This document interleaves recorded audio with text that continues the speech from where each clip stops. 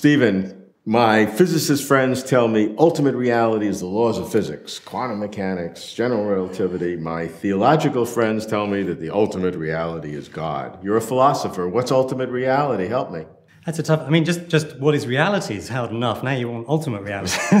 I mean, even even with reality, I'm kind of flummoxed. Um, it's like um, what we're doing here is we're we're asking a question. I, I I'm not entirely sure even what it means. I mean, I know what it means to say describe something as being real rather than imaginary. I know, you know, there, there are ways in which we apply it, the terms existence and real and so on in an everyday life. But when we kind of take a step back and say, but what is reality per se, the very essence of the phenomenon and the ultimate reality. the ultimate reality, uh, Geez, I, I, suspect there's something wrong with that question. I mean, as, as there so very often is when people ask, but what is it really? You know, oh, it's really, it's just all mind. No, no, it's all just physical matter and atoms dancing in the void.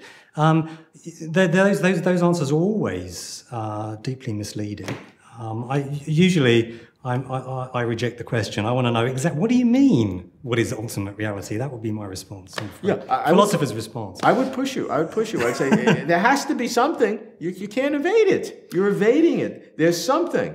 Maybe you can't find it. You can't know it. But there is something. It's also my yeah. question's a good question. No, I don't. I'm not so sure because look, maybe it's what Wittgenstein would call, you know, reality. It's a family resemblance concept. If you come up, family resemblance concepts, um, you can have different members of a family. Some have the big nose, some have the wide eyes, some have the. But there's no one thing that they all have in common. They, they just kind of hang together. There's a kind of group similarity, but no one thing that they all have in common. The same is true of many concepts. Wittgenstein thought it was true of the concept of game. Maybe it's true of the concept reality or real. Okay, in which case, asking for the you know, ultimate reality, the thing they've all got in common, there just ain't no such thing. It's a myth. You're on a wild goose chase if you're asking for the ultimate, you know, what is ultimate reality. Uh, I think, I suspect you need some linguistic therapy.